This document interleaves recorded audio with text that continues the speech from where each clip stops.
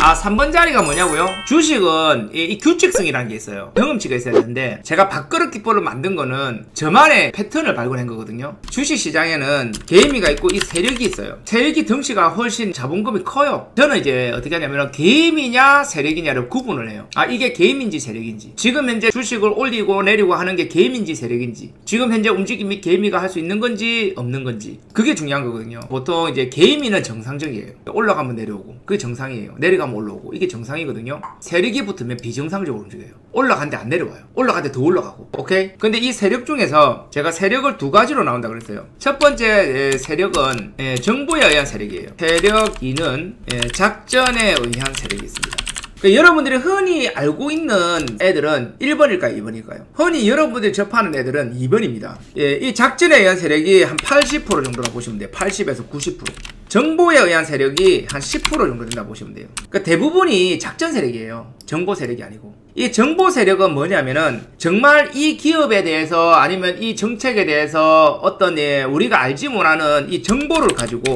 매집을 해요. 그래서 매집하는 패턴이 달라요. 세력 1의 경우는 차트가 주가가 평상시 움직임 있다가 갑작스럽게 정보가 먼저 입수를 합니다. 그러면은 적정 주가에서 움직이는 기업이 누군가의 자금이 들어와요. 정보를 먼저 취득한 사람. 이 말은 뭐냐면 이 정보가 터지면은 못 잡는 거죠. 날라가니까. 예를 들어서 어떤 M&A 정보나 아니면 무슨 투자 정보나 뭐 특허 개발이나 무슨 수주 이런 정보를 먼저 얻는 사람들이 있어요. 미공개 정보라 그러죠. 그 불법인데 어, 떻게 잡을 방법이 별로 없어요. 그죠? 그렇기 때문에 예, 야들은 그런 미공개 정보가 하면 갑자기 주가가 우상향을 해요. 급등 을 한다는 것은 이미 뉴스가 터진 거고 급등을 하는 게 아니라 그냥 살금살금 누군가가 위로 조금 비싼 가격에도 계속 사요. 정보가 터지면 100%까지 올라가니까 플러스 20, 30%까지 매집을 해도 70%가 남다 이렇게 보는 거거든요. 어떻게 어쨌든 물량 확보가 중요하거든요. 그렇기 때문에 이런 애들은 보면은 주가가 이렇게 막 이런 식으로 올라가요. 그러다가 예, 뉴스 터지면 쫙 이렇게 올라가거든요. 이게 이제 정보 여연 세력이에요. 그 정보 여연 세력들은 매집이 공격적으로 일어난다. 그래서 우리가 주가가 평상시 박스권 위에서 일어난다고 해서 공격형 매집이고 보통 보면 이게 국자 패턴이라고 해요. 국자.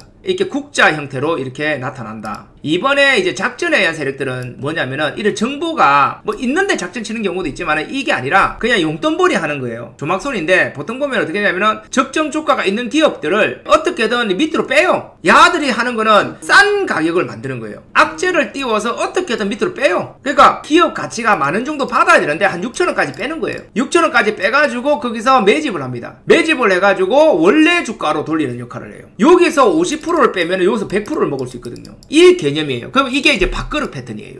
그 다음에 이게 어떤 악재가 세력들이 작전을 치려고 악재를 터뜨는 게 아니라 갑작스럽게 글로벌 악재가 터져요. 이번에 뭐 코로나 같은. 이런 애들은 빠르게 회복을 합니다. 이렇게 V자로. 회복을 한 다음에 여기서 이렇게 돼요. 여기서 이렇게 튀어요. 요게 이제 하이힐이에요. 하이힐. 그리고 이런 거는 이제 보통 뭐 224일선이 이렇게 지나가요. 그런데 간혹 가다 보면은 이런 게 있어요. 224일선이 이렇게 옆으로 지나가고요. 주가가 위에서 예, 이게 밥그릇이 이렇게 나오는 경우가 있어요. 이런 주식의 특징은 뭐냐면은 기 업이 파동을 주는 거거든요. 그 이런 기업들은 이제 작은 밥그릇에 대해서 별로 신경 쓰는 게 아니라 이런 식으로 해서 이 앞전에 아마 더 큰 매물이 있겠죠. 이 앞전에 있는 이 매물들을 털어내고 나중에 크게 올리겠다. 이렇게 보는 거거든요. 물론 우리는 이제 요거 매매해야 돼요. 그러니까 제가 봤을 때 이제 224일선을 기준으로 위에서 예, 많이 예, 이렇게 되는 거는 나중에 큰 밥그릇이 나올 가능성이 높다. 이게 매집봉이 되는 거죠. 쉽게 말하면 큰 그림에서 이 자체가 매집봉이 되는 거거든요. 그러니까 이런 거를 우리가 이제 패턴으로 분석을 하는 거예요. 어떤 식으로든 차트를 보면은 밥그릇이 나와요. 뭐 어떤 형태로든 여기 밥그릇 형태, 여기 밥그릇 형태, 뭐 여기도 밥그릇 형태, 여기도 밥그릇 형태 보시면은 여기도 밥그릇 확대를 해보면은 요런 예, 밥그릇 형태들이 계속 반복이 됩니다. 거의 다 보면은 예, 이게 큰 밥그릇 이거는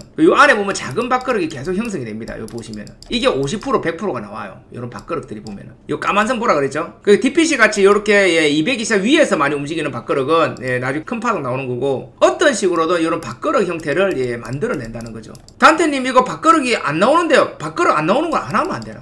그럼 이게 밥그릇 몇 번 자리로 보여요? 1번 자리잖아. 보이잖아요. 그러면 이게 2번이 나오고 3번이 나오는 시간이 많이 걸리겠구나. 근데 이게 여기서 하이힐 자리가 나올 건지 안 나올 건지 V자 반등이 나올 건지 안 나올 거는 이게 글로벌 악재로 빠졌는지 아닌지 돌발 악재로 빠졌는지 아닌지 그걸 판단하면 되는 거죠. 이건 돌발 악재로 빠진 게 아니기 때문에 그냥 파동이기 때문에 요거는 2번이 길게 나온다 이렇게 보는 거예요. 그래서 우리가 밥그릇 기법으로 보면은 우리가 매매해야 될 구간은 바로 이 3번 구간이다. 그러니까 2번 자리에 비하면 비싸요. 어, 비싸다고 생각되어져요. 근데 1번 자리보다는 훨씬 싼 거예요. 거예요. 그래서 우리가 보통 보면 1번이나 2번에서 공략을 하면 시간이 많이 걸리거든요. 그래서 3번에서 공략하면은 조금 버티면은 4번이 금방 나오니까. 물론 뭐 3번에서 잡아도 뭐 이렇게 횡보했다가 이렇게 가는 경우도 또 있어요. 뭐 이런 거는 시간 6개월 정도 더 걸리더라도 1번이나 2번에서 잡은 것보다는 월등히 낫다 이거죠. 그래서 제가 항상 3번 자리에 잡아라 이라는 겁니다. 이 밥그릇의 3번 자리. 제일 좋은 거는 224선 밑으로 이격이 벌어졌다가 어, 시간이 지나면서 224선을 다시 뚫는 종목을 얘기하는 거예요. 밥그릇은 쉽게 말하면은 이런 식으로 봐봐. 밑 으로 급락이 나와서 회복하고 다시 뚫어 올리는 요런 자리들 이건 3번 자리예요 여기가. 이거는 이런 거는 이제 하이힐이죠 이런 거는.